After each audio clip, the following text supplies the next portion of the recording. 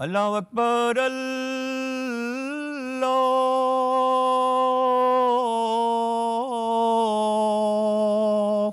أكبر.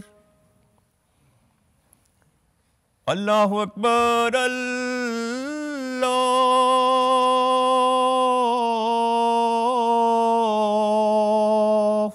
أكبر. أشهد أن لا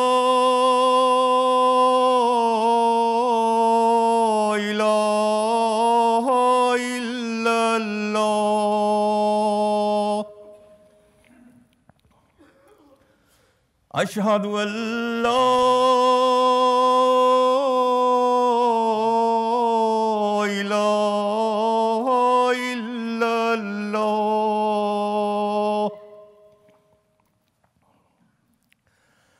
أشهد أن محمد رسول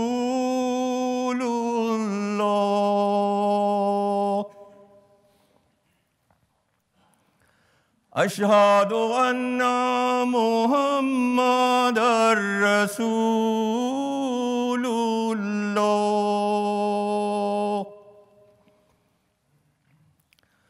هيا على الصلاة.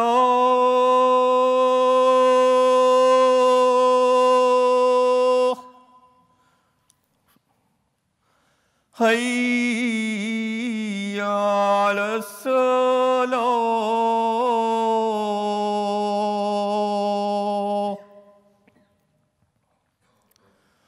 هيا على الفلاح.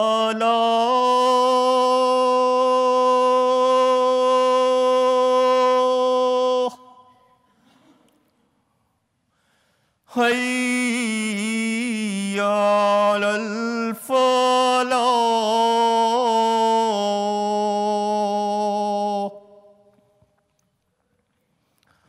الله أكبر الله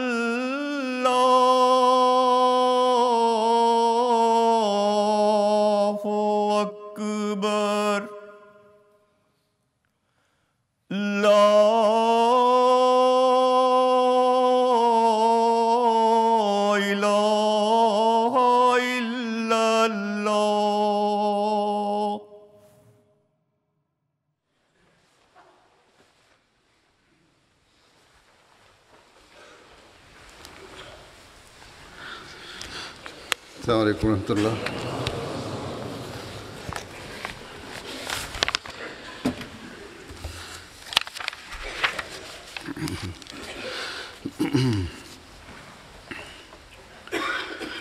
أشهد أن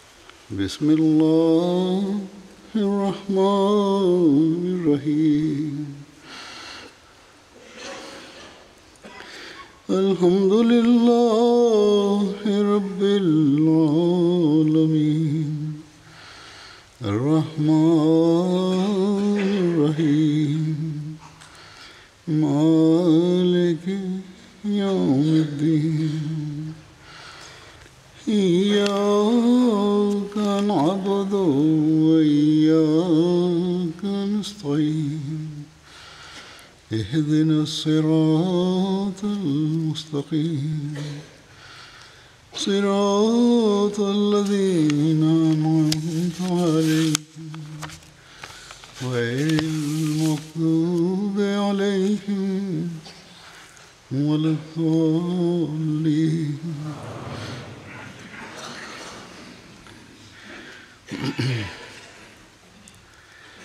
گزشتہ خطبے میں حضرت سعد بن عبادہ کا ذکر ہو رہا تھا۔ ان کے بارے میں مزید آج کچھ بیان کروں گا۔ حضرت سعد بن عبادہ بیت اقبا ثانیہ کے موقع پر بنائے جانے والے بارہ نقبہ میں سے ایک تھے۔ ان کے بارے میں سید ختم النبین میں مرزا بشیر احمد صاحب نے بیان کیا ہے کہ قبیلہ خدرج کے خاندان بنو سائدہ سے سے تھے یہ اور اور تمام قبیلہ خزرج کے رئیس تھے اور آ حضرت صلی اللہ علیہ وسلم کے عید مبارک میں ممتاز ترین انصار میں شمار ہوتے تھے۔ حتیٰ کہ آ حضرت صلی اللہ علیہ وسلم کی وفات پر بعض انصار نے انہی کو خلافت کے لیے پیش کیا تھا۔ یعنی انصار میں سے جو نام پیش ہوئے تھے۔ وہ ان کا نام تھا۔ حضرت عمر کے زمانے میں یہ فوت ہوئے۔ حضرت سعد بن عبادہ منظر بن عمر اور ابو دجانہ نے جب اسلام قبول کیا، یہ تین اشخاص تھے، سعد بن عبادہ منظر بن عمر اور ابو دجانہ۔ انہوں نے جب اسلام قبول کیا تو ان سب نے اپنے قبیلہ بنو سائدہ کے بت توڑ ڈالے۔ ہجرت مدینہ کے وقت رسول اللہ صلی اللہ علیہ وسلم جب جب بنو سائدہ کے گھروں کے پاس سے گزرے تو حضرت سعد بن عبادہ، حضرت منظر بن عمر اور حضرت ابو نے عرض کی کہ یا رسول اللہ آپ ہمارے پاس تشریف لائیں، ہمارے پاس عزت ہے، دولت، قوت اور مضبوطی ہے۔ حضرت سعد بن عبادہ نے یہ بھی عرض کیا کہ یا رسول اللہ، میری قوم میں کوئی ایسا شخص نہیں جس کے کھجوروں کے باغات مجھ سے زیادہ ہوں اور اس کے کنویں مجھ سے زیادہ ہوں۔ اس کے ساتھ ساتھ دولت، قوت اور کثیر تعداد بھی ہو۔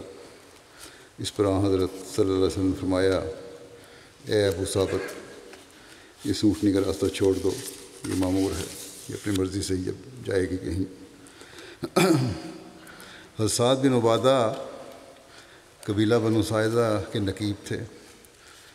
جیسا کہ پہلے بیان ہوا کہ نقیب مقرر کیے گئے تھے، ان میں ان کا نام تھا۔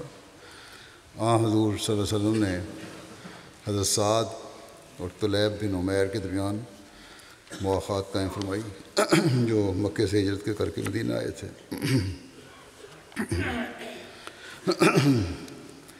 ابن اسحاق کے ابن اسحاق کے مطابق رسول اللہ صلی اللہ علیہ وسلم نے حضرت بن عبادہ اور حضرت غفار غفاری کے درمیان مواقع قائم فرمائی تھی۔ لیکن بعض کو اس سے اختلاف بھی ہے۔ واقعی نے اس سے انکار کیا ہے کیونکہ اس کے مطابق آ حضرت صلی اللہ علیہ وسلم نے مواقع غزوہ بدر سے قبل صحابہ کے درمیان قائم فرمائی تھی اور ابو ذرغفاری جو تھے، اس اس وقت مدینہ میں موجود نہیں تھے اور غزوہ بدر اور عہد اور خندق میں بھی شامل نہ تھے، بلکہ وہ ان غزوات کے بعد آ حضرت صلی اللہ علیہ وسلم کی خدمت میں حاضر ہوئے۔ یہ ان کی دلیل بات بہرحال۔ کہا جاتا ہے کہ قبیلہ اوس اور خدرج میں ایسا کوئی گھر نہ تھا جس میں چار شخص پے در پے فیاض ہوں، بڑے کھلے دل کے ہوں۔ سوائے دلیم کے، پھر اس کے بیٹے عبادہ کے، پھر اس کے بیٹے سعد کے، پھر اس کے بیٹے کیس کے۔ دلیم اور اس کے اہل خانہ کی سخاوت، اس کے اہل خانہ کی سخاوت کے بارے میں بہت سی اچھی اچھی خبریں مشہور تھیں۔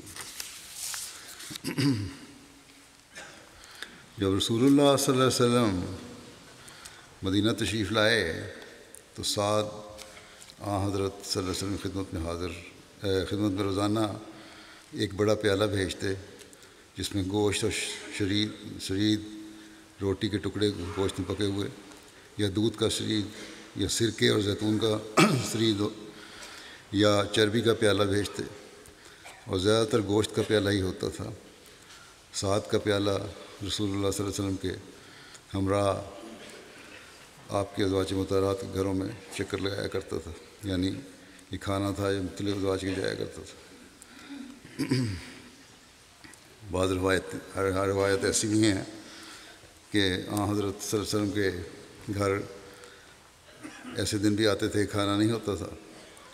ہو سکتا ہے کہ اکثر بھیجتے ہوں، روزانہ نہیں، یا شروع میں بھیجتے ہوں اور یہ بھی ہو سکتا ہے کہ آ حضرت صلی اللہ علیہ وسلم اپنی سخاوت کی وجہ سے، غریبوں کے خیال کی وجہ سے بعض اوقات انہیں غربا میں تقسیم کر دیتے ہوں، مہمانوں کھلا دیتے ہوں، اس لیے اپنے گھر میں کچھ نہیں ہوتا تھا۔ بہرحال ایک روایت اور ہے، حضرت زید بن ثابت بیان کرتے ہیں کہ رسول اللہ صلی اللہ علیہ وسلم نے جب حضرت ابو ایوب انصاری کے ہاں قیام فرمایا تو آپ کے ہاں کوئی ہدیہ نہیں آیا۔ پہلا ہدیہ جو میں نے، جو میں آپ کی خدمت میں لے کر حاضر ہوا تھا، وہ ایک پیالہ تھا جس میں گندم کی روٹی کی سجید تھی سجید گوشت اور دودھ تھا۔ میں نے اسے آپ کے سامنے پیش کیا۔ میں نے عرض کی، یا رسول اللہ، یہ پیالہ میری والدہ نے آپ کی خدمت بھیجا ہے۔ آپ نے فرمایا، اللہ اس میں برکت ڈالے اور آپ نے اپنے صحابہ کو بلایا۔ تو انہوں نے بھی اس میں سے کھایا میں بھی کہتے ہیں دروازے تک ہی پہنچا تھا کہ سات بن عبادہ بھی ایک پیالہ لے کر حاضر ہوئے، جسے ان کا غلام اپنے سر پر اٹھائے ہوئے تھا۔ کافی بڑا تھا وہ۔ میں حل تو وہ ایوب کے دروازے پر کھڑا ہو گیا۔ میں نے اس پیالے کا کپڑا اٹھایا تاکہ میں اسے دیکھوں۔ کہ میں نے شری میں نے شریر دیکھی جس میں ہڈیاں تھیں، اس غلام نے وہ آپ کی خدمت میں پیش کیا حضرت صلی اللہ علیہ وسلم کی خدمت میں۔ حضرت زید کہتے ہیں کہ ہم بنو مالک بن نجار کے گھروں میں رہتے تھے۔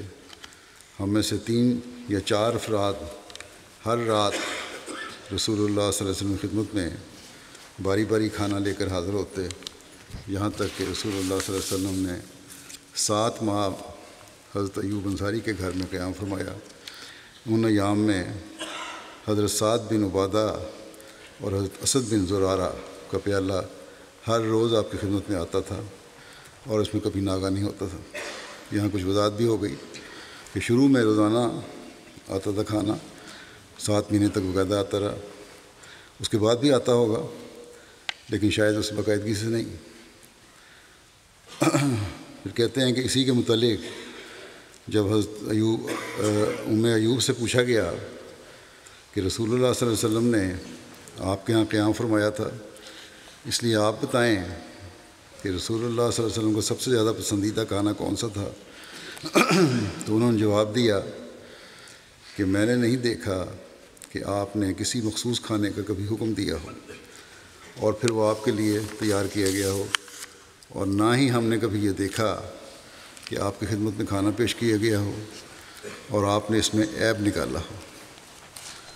حضرت ایوب نے مجھے بتایا، یہ کہتے ہیں کہ ایک رات حضرت سعد بن عبادہ نے آ حضرت صلی اللہ علیہ وسلم خدمت میں ایک پیالہ بھجوایا جس میں توفیشل یا یعنی شوربہ کی قسم ہے، وہ تھا۔ آپ نے وہ سیر ہو کر پیا۔ اور میں نے اس کے علاوہ آپ کو کبھی اس طرح سیر ہو کر پیتے نہیں دیکھا۔ پھر ہم نے بھی آ، حضرت صلی اللہ علیہ وسلم کے لیے، ہم بھی آ، حضرت صلی اللہ علیہ وسلم کے لیے یہ بنایا کرتے تھے۔ جو کھانا آتا تھا، کبھی یہ نہیں کہا کہ یہ لاؤ یا وہ پکاؤ، کبھی ایب نکالا۔ لیکن یہ کھانا آپ کو پسند آیا اور اپنے بڑا، اپنے بڑے شوق سے اس کو کھایا یا پیا۔ اس کے بعد پھر لوگ، صحابہ کو پتہ لگ گیا کہ یہ پسند ہے احمد وسلم کی۔ تو اس کے مطابق پھر بناتے تھے۔ کہتے ہیں کہ ہم آپ کے لیے حریث مشہور کھانا ہے جو گندم اور گوشت سے بنایا جاتا ہے۔ اور یہ بھی بنایا کرتے تھے جو آپ کو پسند تھا۔ اور رات کے کھانے میں آ حضرت صلی اللہ علیہ وسلم کے ہمراہ پانچ سے لے کر سولہ تک افراد ہوتے تھے، جس کا انحصار کھانے کی قلت یا کثرت پر ہوتا تھا۔ رسول اللہ صلی اللہ علیہ وسلم کہ حضرت ابو ایوب انصاری کے گھر قیام کے دنوں کا ذکر کرتے ہوئے حضرت مرزا بشیر صاحب نے بھی لکھا ہے، کہتے ہیں کہ اس مکان میں آپ نے سات ماہ تک، یا ابن اسحاق کی روایت کے مطابق، ابن اسحاق کی روایت یہ ہے کہ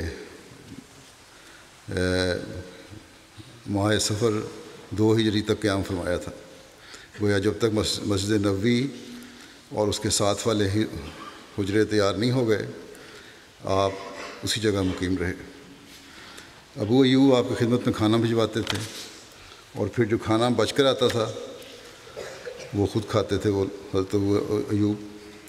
اور محبت و اخلاص کی وجہ سے اسی جگہ انگلیاں ڈالتے تھے جہاں سے آپ صلی اللہ علیہ وسلم نے کھایا ہوتا۔ دوسرے اصحاب بھی عموماً آپ کی خدمت میں کھانا بھیجا کرتے تھے۔ چنانچہ ان لوگوں میں سعد بن عبادہ رئیس قبیلہ خدرج کا نام تاریخ میں خاص طور پر مذکور ہوا ہے۔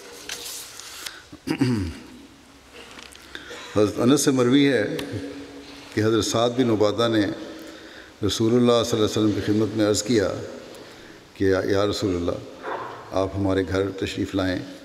تو آ حضرت صلی اللہ علیہ وسلم سعد کے ہمراہ ان کے گھر تشریف لے گئے۔ حضرت سعد کھجور اور تل لے آئے۔ پھر آ حضور صلی اللہ علیہ وسلم کے لیے دودھ کا پیارہ لائے، جس میں سے آپ نے پیا کیس بن سعد بیان کرتے ہیں کہ رسول اللہ سعد بن عبادہ کے بیٹے ہیں، کہ رسول اللہ صلی اللہ علیہ وسلم ملاقات کے لیے ہمارے گھر تشریف لائے۔ تو آپ نے فرمایا، السلام علیکم ورحمۃ اللہ علیہ وسلم نے سلام کیا گھر والوں کو۔ کیس نے کہا کہ میرے والد سعد نے آہستہ سے جواب دیا کیس نے کہا، میں نے پوچھا، ان سے اپنے باپ سے پوچھا کہ آپ نے رسول اللہ صلی اللہ علیہ وسلم کو اندر آنے کا نہیں کہیں، اندر آنے کا نہیں کہیں گے؟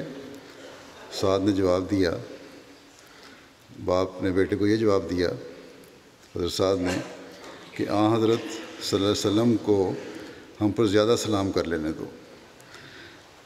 رسول اللہ صلی اللہ علیہ وسلم پھر سلام کر کے واپس ہوئے۔ یعنی آپ نے کہا کہ آن وسلم نے سلام کیا، میں نے ایسے جواب دیا دوبارہ ہاں آن وسلم سلام کریں گے۔ تو اس طرح ہمارے گھر میں سلامتی پہنچے گی۔ باہر کہتے ہیں رسول اللہ علیہ وسلم سلام کر کے واپس ہوئے۔ تو پھر سعد آپ کے پیچھے گئے عرض کیا، یا رسول اللہ، میں آپ کے سلام کو سنتا اور آپ کو آہستہ سے جواب دیتا تاکہ آپ ہم پر زیادہ سلام بھیجیں۔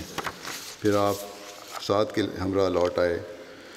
سعد نے آ حضرت صلی اللہ علیہ وسلم سے غسل کا عرض کیا۔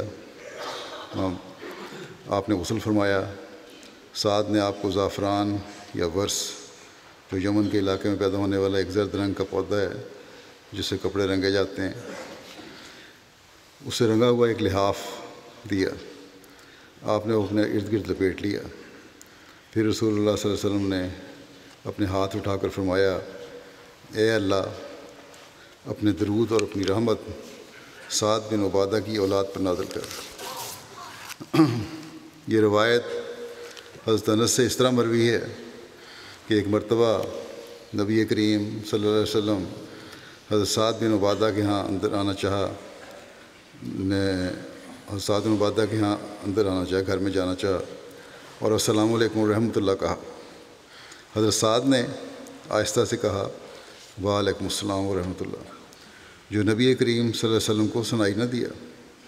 حتیٰ کہ نبی کریم صلی اللہ علیہ وسلم نے تین مرتبہ سلام کیا اور سعد نے تینوں مرتبہ اسی طرح جواب دیا کہ نبی کریم صلی اللہ علیہ وسلم کو سنائی نہ دیا۔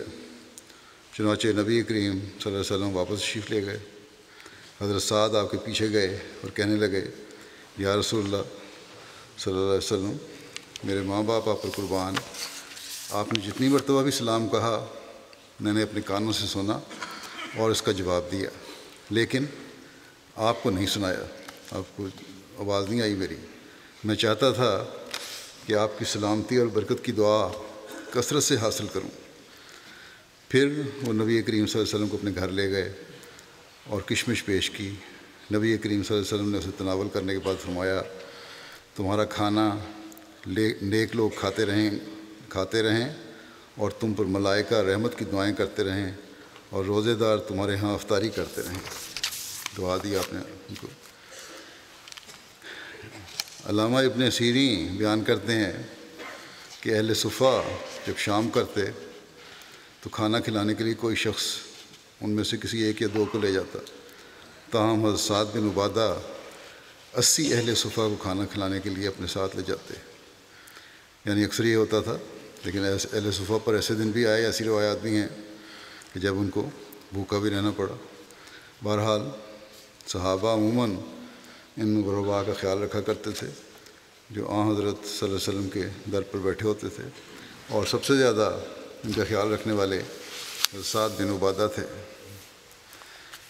آ حضرت صلی اللہ علیہ وسلم نے مدینہ تشریف لانے کے ایک سال بعد مائع سفر میں ابوا مدینہ سے مکے کی شارہ پر جوفا سے تیئیس میل دور واقع ہے۔ یہ جگہ یہاں نبی کریم صلی اللہ علیہ وسلم کی والدہ حضرت آمنہ کی قبر بھی ہے۔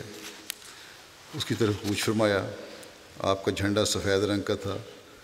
اس موقع پر رسول اللہ صلی اللہ علیہ وسلم نے مدینہ میں حضرت سعد بن عبادہ کو اپنا جانشین یا امیر مقرر فرمایا۔ غزوہ ابا کا دوسرا نام غزوہ بدان بیان کیا جاتا ہے۔ سیرت ختم النبین سید مرزا بشیر احمد صاحب نے غزوہ بدان کا ذکر کرتے ہوئے فرمایا ہے، لکھتے ہیں یہ کہ آ حضرت صلی اللہ علیہ وسلم کا طریق تھا کہ کبھی تو خود صحابہ کو ساتھ لے کر نکلتے تھے۔ اور کبھی کسی صحابی کی عمارت میں کوئی دستہ روانہ فرماتے تھے۔ مورخین نے ہر دو قسم کے مہموں کو الگ الگ نام دیے ہیں، چنانچہ جس مہم میں آ حضرت صلی اللہ علیہ وسلم خود بنفس نفیس شامل ہوئے ہوں، اس کا نام مورخین غزوہ رکھتے ہیں۔ اور جس میں آپ خود شامل نہ ہوئے ہوں، اس کا نام سریہ یا باس رکھا جاتا ہے۔ مگر یہ یاد رکھنا چاہیے کہ غزوہ اور سریہ دونوں میں مخصوص طور پر جہاد بصیف کی غرض سے نکلنا ضروری نہیں ہے۔ ضروری نہیں ہے کہ تلوار کے جہاد کے لیے نکلا جائے، بلکہ ہر وہ سفر جس میں آپ جنگ کی حالت میں شریک ہوئے ہوں، غزوہ کہلاتا ہے خواہ وہ خصوصیت کے ساتھ لڑنے کی غرض سے نہ کیا گیا ہو۔ اور اسی طرح ہر وہ سفر جو آپ کے حکم سے کسی جماعت نے کیا وہ مورخین کی اصطلاح میں سریہ یا باس کہلاتا ہے۔ خواہ اس کی غرض و غائد لڑائی نہ ہو، لیکن بعض لوگ ناوافیت سے ہر غزبے اور سریے کو لڑائی کی مہم سمجھنے لگ جاتے ہیں، جو درست نہیں ہے۔ یہ بیان کیا جا چکا ہے کہ جہاد بصیف کی اجازت ہجرت کے دوسرے سال مائع سفر میں نازل ہوئی تھی۔ پہلے گزشتہ خطبوں میں بیان ہو چکا ہے۔ چونکہ قریش کے خونی ارادوں اور ان کی خطرناک کارروائیوں کے مقابلے میں مسلمانوں کو محفوظ رکھنے کے لیے فوری کارروائی کی ضرورت تھی، اس لیے آپ اسی ماہ میں مہاجرین کی ایک جماعت کو ساتھ لے کر اللہ تعالیٰ کا نام لیتے ہوئے مدینہ سے نکل کھڑے ہوئے۔ روانگی سے قبر آپ نے اپنے پیچھے مدینہ میں سعد بن عبادہ رئیس خدرج کو امیر مقرر فرمایا۔ اور مدینہ سے جنوب مغرب کی طرف مکے کے راستے پر روانہ ہو گئے اور بالآخر مقام ودان تک پہنچے۔ اس علاقے میں یہ تفصیل اب اس کی ہے، پہلے بھی بیان ہو چکا ہے۔ اس علاقے میں قبیلہ بنو زمرہ کے لوگ آباد تھے۔ یہ قبیلہ بنو کنانہ کی ایک شاخ تھا اور اس طرح گویا یہ لوگ قریش کے چچا داد بھائی تھے۔ یہاں پہنچ کر آ حضرت صلی اللہ علیہ وسلم نے قبیلہ بنو زمرہ کے رئیس کے ساتھ بات چیت کی اور باہمی رضامندی سے آپس میں ایک معاہدہ ہو گیا۔ جس کی شرطیں یہ تھیں کہ بنو زمرہ مسلمانوں کے ساتھ دوستانہ تعلقات رکھیں گے اور مسلمانوں کے خلاف کسی دشمن کی مدد نہیں کریں گے۔ اور جب آ حضرت صلی اللہ علیہ وسلم کو مسلمانوں کی مدد کے لیے جب آ حضرت صلی اللہ علیہ وسلم ان کو یعنی بن زمرہ کو مسلمانوں کی مدد کے لیے بلائیں گے تو فوراً آ جائیں گے۔ دوسری طرف آپ نے مسلمانوں کی طرف سے یہ عہد کیا کہ مسلمان قبیلہ مسلمان، تمام مسلمان قبیلہ بنو زمرے، زمرہ کے ساتھ دوستانہ تعلقات رکھیں گے اور بوقت ضرورت ان کی مدد کریں گے۔ یہ معاہدہ باقاعدہ لکھا گیا اور فریقین کے اس پر دستخط ہوئے۔ اور پندرہ دن کی غیر حاضری کے بعد آ حضرت صلی اللہ علیہ وسلم واپس مدینہ تشریف لے آئے۔ غزوہ ودان کا دوسرا نام غزوہ ابوا بھی ہے، کیونکہ ودان کے قریب ہی ابوا کی بستی بھی ہے۔ اور یہ مقام ہے جہاں آ حضرت صلی اللہ علیہ وسلم کی والدہ ماجدہ کا انتقال ہوا تھا۔ مورخین لکھتے ہیں کہ آ حضرت صلی اللہ علیہ وسلم کو اس غزبے میں بنو زمرہ کے ساتھ قریش مکہ کا بھی خیال تھا۔ اس کا مطلب یہی ہے کہ دراصل آپ کی یہ مہم قریش کی خطرناک کارروائیوں کے سطح باب کے لیے تھی اور اس میں زہریلے اور خطرناک اثر کا ازالہ مقصود تھا۔ جو قریش کے قافلے وال، قافلے وغیرہ مسلمانوں کے خلاف قبائل عرب میں پیدا کر رہے تھے پروپیگنڈا کرتے تھے مسلمانوں کے خلاف قبیلوں میں جا کے قریش۔ اور جس کی وجہ سے مسلمانوں کی حالت ان ایام میں بہت نازک ہو رہی تھی۔ حضرت سعد بن عبادہ کے غزوہ بدر میں شامل ہونے کے بارے میں دو آراء بیان کی جاتی ہیں۔ واقعی مدعینی اور ابن کلبی کے نزدیک یہ غزوہ بدر میں شامل ہوئے تھے، جبکہ ابن اسحاق اور ابن اقبا اور ابن سعد کے نزدیک یہ غزوہ بدر میں شامل نہیں ہوئے تھے۔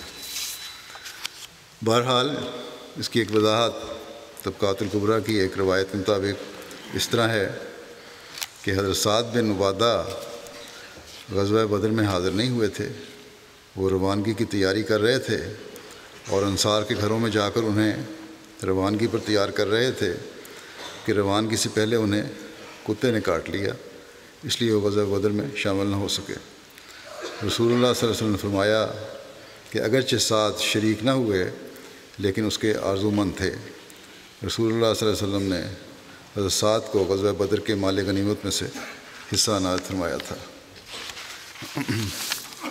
حضرت سعد بن عبادہ غزوہ عہد خندق سمیت تمام غزوات میں رسول اللہ صلی اللہ علیہ وسلم کے ساتھ شامل ہوئے۔ ایک روایت یہ بھی ہے کہ انصار کا جھنڈا غزوہ بدر کے روز حضرت سعد بن عبادہ کے پاس تھا۔ المستدرک کی روایت ہے یہ۔ غزوہ بدر پر روانگی کے وقت حضرت بن عبادہ نے عزب نامی تلوار رسول اللہ صلی اللہ علیہ وسلم کی خدمت میں توفتاً پیش کی اور آ حضرت صلی اللہ علیہ وسلم نے غزوہ بدر میں اسی تلوار کے ساتھ شرکت کی تھی۔ رسول اللہ صلی اللہ علیہ وسلم کی خدمت میں ایک گدا بھی حضرت بن عبادہ نے توفتاً پیش کیا تھا۔ نبی کریم صلی اللہ علیہ وسلم کے پاس سات زیریں تھیں، ان میں سے ایک کا نام ذات الفضول تھا۔ یہ نام اسے، اس کی لمبائی کی وجہ سے دیا گیا تھا۔ اور یہ ذرا جو تھی، حضرت سعد بن عبادہ نے رسول اللہ صلی اللہ علیہ وسلم کی خدمت میں تب بھجوائی تھی، جب آپ صلی اللہ علیہ وسلم بدر کی طرف روانہ ہو چکے تھے۔ اور یہ ذرا لوہے کی تھی، یہ وہی ذرا تھی جو آ حضرت صلی اللہ علیہ وسلم نے ابو شاہم یہودی کے پاس جو کے عوض بطور رہن رکھوائی تھی اور جو کا وزن تیس سا تھا اور ایک سال کی مدد کے لیے بطور قرض لیا گیا تھا۔ حضرت ابن عباس سے مروی ہے کہ نبی کریم صلی اللہ علیہ وسلم کا جھنڈا حضرت علی کے پاس ہوتا اور انصار کا جھنڈا حضرت سعد بن عبادہ کے پاس ہوتا۔ اور جب جنگ جنگ زوروں پر ہوتی تو نبی کریم صلی اللہ علیہ وسلم انصار کے جھنڈے تلے ہوتے۔ یعنی جو زیادہ تر زور تھا دشمنوں کا، انصار کی طرف ہوتا تھا، کیونکہ علیہ وسلم بھی وہیں ہوتے تھے۔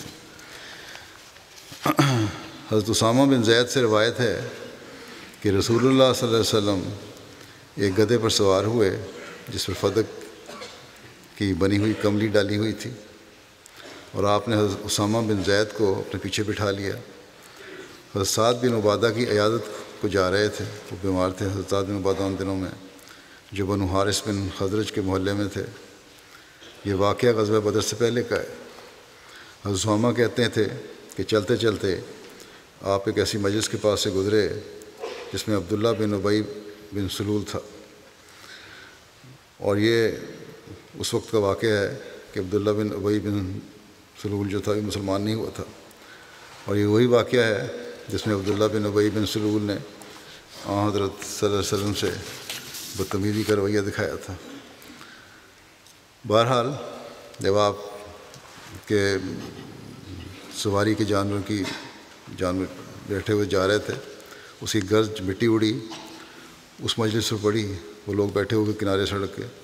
تو عبداللہ بن نبئی بن سلول نے اپنی چادر سے اپنے ناک کو ڈھانک، ڈھانکا اور کہنے لگا کہ ہم پر گرد نہ اڑاؤ۔ رسول اللہ صلی اللہ علیہ وسلم نے ان کو السلام علیکم کہا۔ اور ٹھہر گئے۔ جب اس نے بات کی ہے عام وسلم نے اپنی سواری کو کھڑا کر لیا، ٹھہر گئے، السلام علیکم کہا اور گدے سے اترے۔ آپ نے ان کو اللہ تعالیٰ کی طرف بلایا اور انہیں قرآن پڑھ کر سنایا۔ عبداللہ بن ابئی بن سلول نے کہا، اے مرد، بات جو تم کہتے ہو، اس سے اچھی بات کوئی بات، اس سے اچھی کوئی بات نہیں۔ اگر یہ سچ ہے، تو ہماری مجلس میں آ کر اس سے تکلیف نہ دیا کرو۔ ہماری مجلس میں آنے کی ضرورت کوئی نہیں ہے باتیں کہنے کی۔ کوئی مختصر سے پہلے بھی ایک دفعہ میں بیان کر چکا ہوں، یہ اپنے ٹھکانے پر ہی واپس جاؤ۔ پھر جو تمہارے پاس آئے اس سے بیان کرو۔ حضرت عبداللہ بن روا جو وہاں بیٹھے ہوئے تھے، مسلمان ہو چکے تھے، صحابی تھے، انہوں نے یہ سن کر کہا کہ نہیں یا رسول اللہ، ہماری ان مجلسوں میں ہی آ کر ہمیں آپ پڑھ کر سنایا کریں۔ ہمیں تو یہ بات پسند ہے۔ اس پر مسلمان مشرق اور یہودی ایک دوسرے کو برا بھلا کہنے لگے۔ قریب تھا کہ ایک دوسرے پر حملہ کرتے، مگر نبی کریم صلی اللہ علیہ وسلم نے ان کا جوش دبایا، آخر وہ رک گئے۔ پھر اس کے بعد نبی کریم صلی اللہ علیہ وسلم اپنے جانور پر سوار ہو کر چلے گئے، یہاں تک کہ حساد بن عبادہ کے پاس آئے۔ نبی کریم صلی اللہ علیہ وسلم نے ان سے کہا، سعد، کیا تم نے سنا جو ابو حباب نے کہا؟ آپ کی مراد عبداللہ بن ابئی بن سلول سے تھی۔ آپ صلی اللہ علیہ وسلم نے فرمایا کہ اس نے مجھے یوں یوں کہا ہے۔ حضرت سعد بن عبادہ نے کہا، یا رسول اللہ، آپ اس کو معاف کر دیں اور اس سے درگزر کیجیے۔ اس ذات کی قسم ہے جس نے آپ پر کتاب نازل فرمائی ہے۔ اللہ اب وہ حق، اللہ اب وہ حق یہاں لے آیا ہے جس کو اس نے آپ پر نازل کیا ہے۔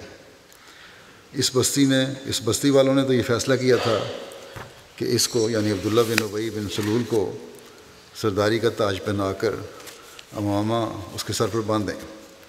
جب اللہ تعالیٰ نے اس حق کی وجہ سے جو اللہ تعالیٰ نے آپ کو عطا کیا ہے، یہ منظور نہ کیا، تو وہ حسد کی آگ میں جل گیا۔ اس لیے اس نے وہ کچھ کیا جو آپ نے دیکھا یعنی وہ سردار بننا، بن، بننے والا تھا۔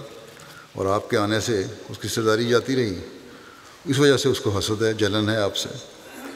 اور اس نے یہ کہا ہے، یہ سب کچھ، یہ سن کر نبی کریم صلی اللہ علیہ وسلم نے اسے درگزر کیا۔ اور نبی صلی اللہ علیہ وسلم اور آپ کے صحابہ مشرقوں اور اہل کتاب سے جیسا کہ اللہ تعالیٰ نے انہیں حکم دیا، درگزر کیا کرتے تھے۔ اور ان کی اضاء دہی پر صبر کیا کرتے تھے۔ اللہ عز و جل نے فرمایا ہے لطبلغن فی اموالکم و انفسکم و لتسم من الذین اوت الکتاب من قبلکم و من الذین اشرکوا ازن کثیرہ ومن الذین اشرکوا ازن کثیرہ و ان تصبر و تتقو فن نظال کا میں نظم امور کہ تم ضرور اپنے اموال اور اپنی جانوں کے معاملے میں آزمائے جاؤ گے اور تم ضرور ان لوگوں سے جنہیں تم سے پہلے کتاب دی گئی اور ان سے جنہوں نے شرک کیا، بہت تکلیف سے باتیں سنو گے۔ اور اگر تم صبر کرو اور تقوی اختیار کرو، تو یقیناً یہ ایک بڑا ہمت والا کام ہے۔ اور پھر اللہ تعالیٰ نے فرمایا کہ ودا کثیر من اہل کتاب ودا کثیر من اہل کتاب لو یردونکم لو یردونکم من بعد ایمانکم کفارا۔ حسدم من اند انفسہم حسدم من من اند انفسہم انفسہم من بعد ما تبین لهم الحق۔ فافو وصف حتیٰ یات اللہ بے امر ان اللہ علاق الشعین قدیر۔ اہل کتاب میں سے بہت سے لوگ بعد اس کے کہ حق ان پر خوب کھل چکا ہے۔ اس حسد کی وجہ سے جو ان کی اپنی اپنی ہی جانوں سے پیدا ہوا ہے، چاہتے ہیں کہ تمہارے ایمان لے آنے کے بعد تمہیں پھر کافر بنا دیں۔ بس تم اس وقت تک کہ اللہ اپنے حکم کو نازل فرمائے، انہیں معاف کرو اور ان سے درگزر کرو۔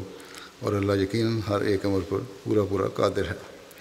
اور نبی کریم صلی اللہ علیہ وسلم افف کو ہی مناسب سمجھتے تھے، جیسا کہ اللہ اللہ تعالیٰ نے آپ کو حکم دیا تھا۔ آخر اللہ نے ان کو اجازت دے دی جب رسول اللہ صلی اللہ علیہ وسلم نے بدر کے مقام پر ان کا یعنی کافروں کا مقابلہ کیا اور اللہ تعالیٰ نے اس لڑائی میں کفار، قریش کے بڑے بڑے سرگنے مار ڈالے۔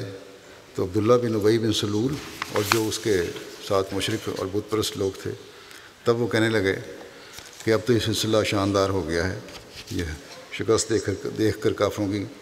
تب ان کو یقین آیا۔ انہوں نے رسول اللہ صلی اللہ علیہ وسلم سے اسلام پر قائم رہنے کی بیعت کر لی اور مسلمان ہو گیا۔ غزوہ بدر کے موقع پر نبی کریم صلی اللہ علیہ وسلم نے جب صحابہ سے مشاورت کی تو سعد بن عبادہ نے اس موقع پر جو کہا، اس کے بارے میں ایک روایت میں تذکرہ ملتا ہے۔ حضرت انس سے روایت ہے کہ رسول اللہ صلی اللہ علیہ وسلم کو جب ابو سفیان کے آنے کی خبر ملی تو آپ نے مشورہ کیا۔ راوی کہتے ہیں کہ حضرت بکر نے گفتگو کی۔ آپ صلی اللہ علیہ وسلم نے ان سے اعراض فرمایا۔ پھر حضرت عمر نے گفتگو کی، مشورے دینے چاہے۔ آپ نے ان سے بھی اعراض فرمایا۔ پھر حضرت سعد بن عبادہ کھڑے ہوئے اور کہنے لگے، یا رسول اللہ، آپ ہم سے مشورہ طلب کرتے ہیں۔ اس ذات کی قسم جس کے ہاتھ میں میری جان ہے۔ اگر آپ ہمیں سمندر میں گھوڑے ڈالنے کا حکم دیں تو ہم انہیں ڈال دیں گے۔ اگر آپ ہمیں برک القماد یمن کا ایک شہر ہے جو مکے سے پانچ رات کی مساوت پر سمندر سے کے کنارے واقع ہے، اس تک ان کے جگر مارنے کا حکم دیں تو ہم ایسا ضرور کریں گے۔ راوی کہتے ہیں کہ رسول اللہ صلی اللہ علیہ وسلم نے لوگوں کو بلایا وہ چلے، یہاں تک کہ بدر میں اترے۔ یہ بات سن کے پھر آپ ہمراہ لے کر اپنے ساتھیوں کو چلے، بدر کے مقام تک پہنچے۔ وہاں قریش کے پانی لانے والے آئے اور ان میں بنو حجاج کا ایک سیاہ لڑکا بھی تھا۔ انہوں نے اسے پکڑ لیا یعنی مسلمانوں نے اسے پکڑ لیا۔ رسول اللہ صلی اللہ علیہ وسلم کے صحابہ اس سے ابو سفیان اور اس کے ساتھیوں کے بارے میں پوچھتے رہے، کیونکہ پہلے یہی پتہ لگا تھا کہ ابو سفیان ایک ایک بڑے اپنے لشکر کے ساتھ یا گروہ کے ساتھ آ رہا ہے۔ شاید۔ تو بہرحال ان سے ابو سفیان کے بارے میں پوچھتے رہے۔ وہ کہتا رہا یہ کہ مجھے ابو سفیان کے بارے میں کچھ علم نہیں، لیکن یہ ابو جہل اور اتبا بن اتبا اور شیبہ اور امیہ بن خلف ہیں۔ یہ ضرور جہاں ہیں، بیٹھے ہوئے۔ ابو جہل بھی ہے اتبا بھی ہے، شیبہ بھی ہے، امیہ بن خلف بھی ہے۔ جب اس نے یہ کہا تو انہوں نے اسے مارا۔ اس نے کہا اچھا میں تمہیں بتاتا ہوں۔ یہ ہے ابو سفیان یعنی کہ ابو سفیان بھی ان میں شامل ہے جب انہوں نے اسے چھوڑ دیا اور اس سے پوچھا، پھر تو اس نے کہا کہ مجھے ابو سفیان کا کوئی علم نہیں۔ لیکن یہ ابو جہل اور اور شہبہ اور امیہ بن خلف لوگوں میں موجود ہیں۔ یہ جو گروہ آیا ہوا ہے، ٹھہرا ہوا ہے لشکر ایک بدر کے قریب، اس میں یہ لوگ موجود ہیں۔ لیکن ابو سفیان نہیں ہے جب اس نے ایسا کہا، تو انہوں نے اسے پھر مارا۔ رسول اللہ صلی اللہ علیہ وسلم اس وقت کھڑے نماز پڑھ رہے تھے۔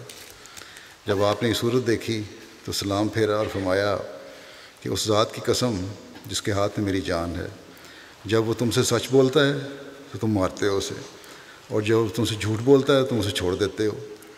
راوی کہتے ہیں کہ رسول اللہ صلی اللہ علیہ وسلم نے فرمایا کہ یہ جو لڑکا کہہ رہا ہے ٹھیک کہہ رہا ہے، پھر فرمایا کہ یہ فلاں کے گرنے کی جگہ ہے یعنی وہی جن دشمنوں کے نام لیے تھے، بتایا کہ یہ میدان ہے بدر کا، یہاں فلاں گرے گا۔ راوی کہتے ہیں آپ نے اپنا ہاتھ زمین پر رکھتے تھے۔ یہاں یہاں راوی کہتے ہیں ان میں سے کوئی اپنی جگہ سے ادھر ادھر نہیں ہٹا۔ یعنی جو دشمن تھے وہیں گرے اور مرے۔ جہاں رسول اللہ صلی اللہ علیہ وسلم نے ہاتھ سے نشاندہی کی تھی۔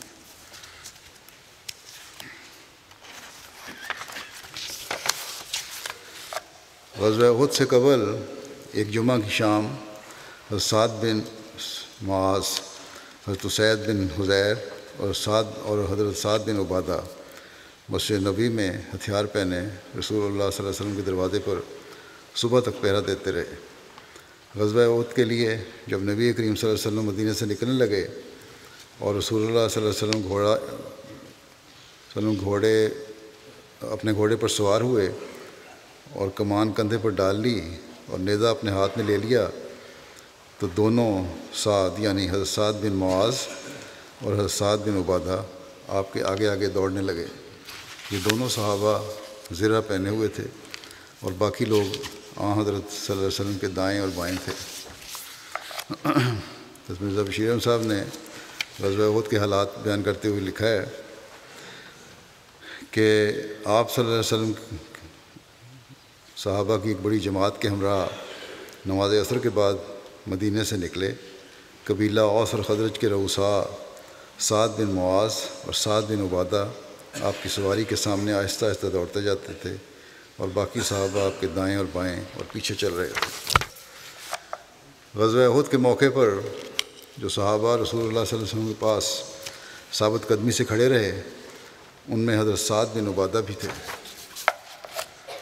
جب رسول اللہ صلی اللہ علیہ وسلم غزوہ عہد سے مدینہ واپس شیف لائے اور اپنے گھوڑے سے اترے تو آپ حضرت سعد بن معاذ اور حضرت سعد بن عبادہ کا سہارا لیتے ہوئے اپنے گھر میں داخل ہوئے۔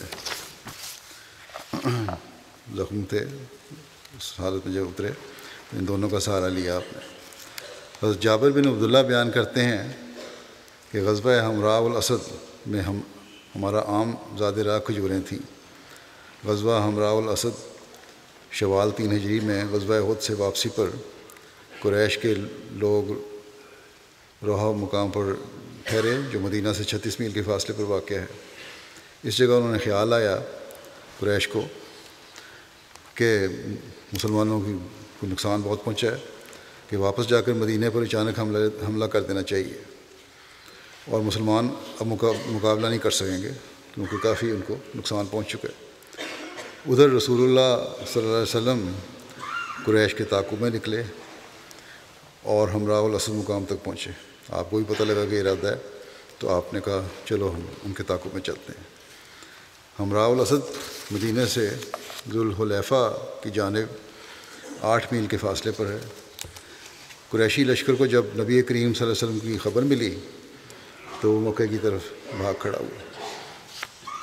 جنہوں نے دیکھا کہ مسلمان تو بجائے کہ کمزور ہوں، یہ تو حملہ کرنے ہم پر آ رہے ہیں، وہ دوڑ گئے۔ حضرت سعد بن عبادہ تیس اونٹ اور کھجوریں لائے جو ہمراہ الاسد مقام تک ہمارے لیے وافر رہیں، راوی نے لکھا ہے۔ وہ اونٹ بھی لے کر آئے تھے جو کسی دن دو یا کسی دن تین کر کے ذبح کیے جاتے تھے اور اس کو کھایا جاتا تھا۔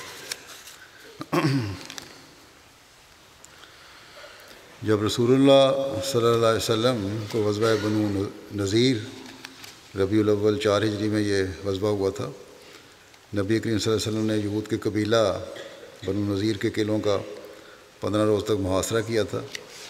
نبی کریم صلی اللہ علیہ وسلم نے ان لوگوں کو خیبر کی طرف، خیبر کی طرح جلا وطن کر دیا تھا۔ اس وقت، اس کے موقع پر اموال غنیمت حاصل ہوا۔ تو آپ نے حضرت ثابت بن کیس کو بلا کر فرمایا، میرے پاس اپنی قوم کو بلاؤ۔ حضرت ثابت بن کیس نے عرض کیا، یا رسول اللہ صلی اللہ علیہ وسلم، کیا خدرج کو آپ نے فرمایا، نہیں، تمام انصار کو بلاؤ۔ چنانچہ انہوں نے اوس اور خدرج کو آپ کے لیے بلایا۔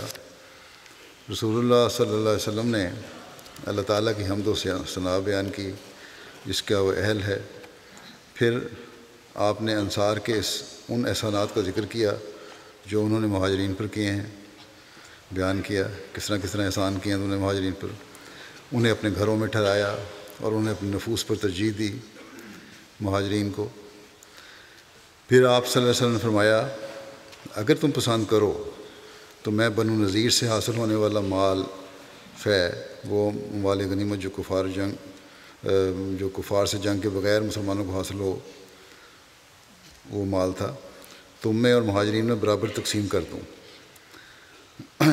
اس حالت میں مہاجرین حسب سابق تمہارے گھروں اور اموال میں رہیں گے۔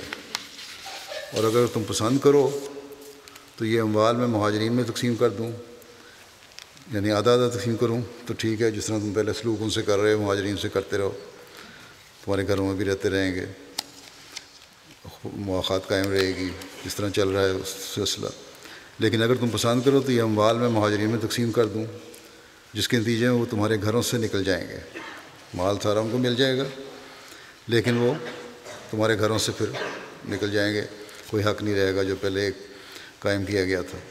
اس پر حضرت سعد بن عبادہ رضی اللہ عنہ اور حضرت سعد بن معاذ دونوں نے عرض کیا کہ یا رسول اللہ صلی اللہ علیہ وسلم، آپ یہ اموال مہاجرین میں تقسیم فرماتے ہیں اور وہ ہمارے گھروں میں اسی طرح ہوں گے جیسا کہ پہلے تھے۔ ہمیں کوئی ضرورت نہیں، آپ یہ تمام مال انہی میں تقسیم کر دیں، انصار کو دینے کی ضرورت نہیں ہے۔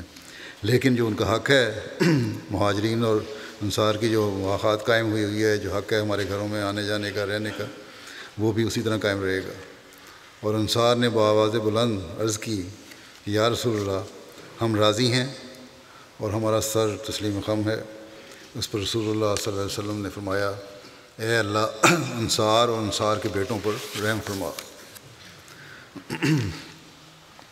اللہ تعالیٰ نے رسول اللہ صلی اللہ علیہ وسلم کو جو مال فہ عطا فرمایا وہ آپ نے مہاجرین میں تقسیم فرمایا اور انصار میں سے دو صحابہ کے علاوہ کسی کو کچھ نہ دیا۔ وہ دونوں صحابہ جو انصار کے تھے ضرورت مند تھے، وہ دونوں حضرت سہیل، سہل بن حنیف اور حضرت ابو دجانہ تھے۔ اور آپ نے حضرت سعد بن معاذ کو ابو حقیق کی تلوار عطا فرمائی۔ حضرت سعد کی والدہ حضرت امرا بنت مسعود جو صحابیات میں سے تھیں، ان کی وفات اس وقت ہوئی جب رسول اللہ صلی اللہ علیہ وسلم غزوہ دما الجندل کے لیے تشریف لے گئے تھے۔ یہ غزوہ ربیع الاول پانچ ہجری میں ہوا تھا۔ حضرت سعد اس غزوے میں آپ کے ہم رکاب تھے۔ سعید بن مسیب سے مروی ہے کہ حضرت سعد بن عبادہ کی والدہ کی وفات اس وقت ہوئی جب آ حضرت صلی اللہ علیہ وسلم مدینہ سے باہر تھے۔ سعد نے عرض کیا کہ میری والدہ کی وفات ہو گئی ہے اور میں چاہتا ہوں کہ آپ ان کی نماز جنازہ پڑھائیں۔ آپ نے نماز جنازہ پڑھائی، حالانکہ انہیں فوت ہوئے۔ ایک مہینہ ہو چکا تھا۔ ایک مہینے کے بعد وہاں خبر پہنچی تھی۔ حضرت ابن عباس سے مروی ہے کہ سعد بن عبادہ نے رسول اللہ صلی اللہ علیہ وسلم سے ایک نظر کے بارے میں پوچھا، جو ان کی والدہ پر تھی اور وہ اس کو پورا کرنے سے پہلے ہی وفات پا گئی تھیں تو رسول اللہ صلی اللہ علیہ وسلم نے فرمایا، تم ان کی طرف سے اسے پورا کرو۔ حضرت سعید بن مسیب سے مروی ہے کہ حضرت سعد بن عبادہ نبی کریم صلی اللہ علیہ وسلم خدمت میں حاضر ہوئے اور عرض کی کہ میری والدہ کی وفات ہو گئی ہے۔ انہوں نے وصیت نہیں کی تھی۔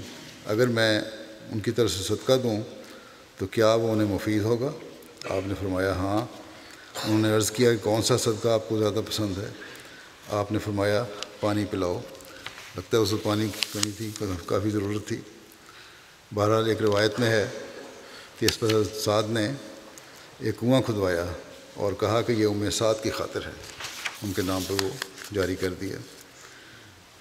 علامہ ابو طیب شمس اللہ ہیں عظیم آبادی، انہوں نے ابو داود کی شرح میں لکھا ہے کہ آ حضرت صلی اللہ علیہ وسلم نے جو یہ فرمایا کہ سب سے افضل صدقہ پانی ہے یعنی حضرات کو کہا کہ پانی پلاؤ۔ اس کی وجہ یہ تھی کہ ان ایام میں پانی کا میاب تھا۔ یا اس لیے کہ پانی کی ضرورت عام طور پر تمام اشیاء کی نسبت سب سے زیادہ ہوتی ہے۔ پھر لکھتے ہیں کہ پانی کا صدقہ آپ نے اس لیے بھی افسر قرار دیا کیونکہ یہ دینی اور دنیاوی معاملات میں سب سے زیادہ نفع رساں چیز ہے۔ بالخصوص ان گرم ممالک میں۔ اس لیے اللہ تعالیٰ نے اس آیت میں اس احسان کا ذکر فرمایا ہے کہ وہ انزلنا من السماء ایمان تہورا کہ اور ہم نے آسمان سے پاکیزہ پانی اتارا۔ وہاں مدینہ میں پانی افضل ترین تھا، گرمی کی شدت کی وجہ سے، عمومی ضرورت اور پانی کی کامیابی کی وجہ سے اس کو بہت قیمتی سمجھا جاتا تھا۔ اور پانی کی قیمت کو قیمتی تو آج بھی سمجھا جاتا ہے، اس کے لیے بھی حکومتیں کہتی رہتی ہیں، خیال بھی رکھنا چاہیے۔ بہرحال صرف اسی پر بس نہیں کیا، انہوں نے کہ پانی کا کنواں کھود دیا۔ حضرت ابن عباس بیان کرتے ہیں کہ حضرت سعد بن عبادہ جو بنو ساعدہ میں سے تھے، ان کی والدہ فوت ہو گئیں اور اس وقت وہ موجود نہ تھے۔ نبی کریم صلی اللہ علیہ وسلم کے پاس آئے۔ انہوں نے کہا، یا رسول اللہ، میری والدہ فوت ہو گئی ہیں اور میں اس وقت ان کے پاس موجود نہ تھا۔ یہ آنے کے بعد پتہ لگا ہوگا۔ پہلے شاید میں نے کہا دیا سفر میں بس بہرحال سفر میں پتہ لگا یا آنے کے بعد پتہ لگا، لیکن بہرحال وہ موجود نہیں تھے۔ اور اس وقت انہوں نے عرض کیا آپ آنسر خدمت میں آئے اور یہ عرض کیا کہ میں موجود نہیں تھا۔ تو کیا میرا ان کی طرف سے کچھ صدقہ کرنا ان کو نفع دے گا؟ آپ صلی اللہ علیہ وسلم نے فرمایا کہ ہاں۔ تو انہوں نے عرض کیا کہ یا رسول اللہ، پھر میں آپ کو گواہ ٹھہراتا ہوں کہ میرا باغ ہے مخراف ان کی طرف سے صدقہ ہے۔ صدقہ اور خیرات اور غریبوں کی مدد میں بڑا کھلا دل رکھتے تھے اور بڑے کھلا ہاتھ رکھتے تھے۔ ممکن ابھی ان کا ذکر چل رہا ہے انشاءاللہ، آئندہ بیان ہوگا۔